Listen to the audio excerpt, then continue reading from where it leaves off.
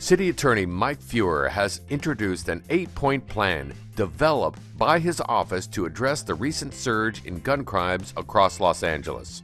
One key element of the plan would be the creation of the Los Angeles Gun Crime Violence Review Commission.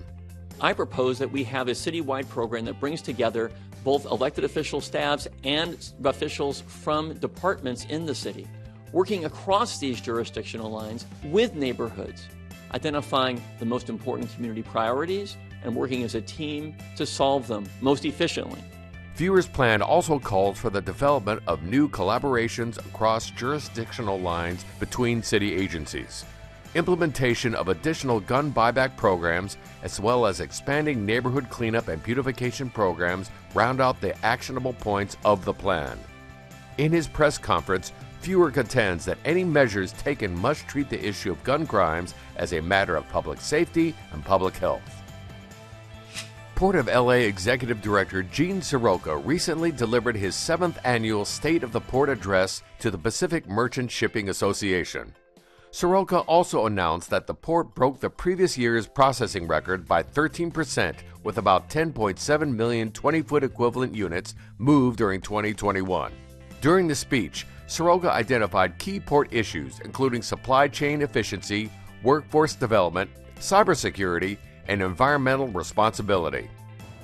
In 2022, we could choose to keep our heads down and just focus on managing our supply chain issues. Or we could choose to think bigger, to reach beyond today and beyond ourselves, to imagine the kind of port that the future needs. To find out more about port initiatives or to watch the State of the Port 2022 event, visit portoflosangeles.org. Mayor Eric Garcetti announced the Los Angeles River Ecosystem Restoration Project will receive $28 million in funding from the Biden administration's infrastructure law.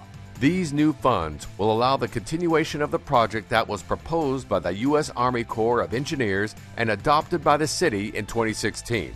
The project aims to restore 11 miles of the river from Griffith Park to downtown Los Angeles.